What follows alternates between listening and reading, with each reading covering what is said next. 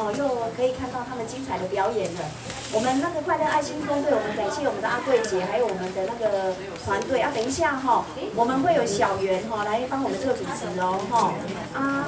大家掌声热烈一点哦，因为他们每一个节节目的表演，他们都很用心的去安排跟演练哦哈啊，今天时间比较不好意思让大家仓促一点哈。那以后我们在那个时间联系上会再更确认一下，免得造成那个你们的困扰哈。那我们掌声欢迎他们的那个我们可爱的小圆出场，也欢迎我们的快乐爱心运动队的精彩表演，哈。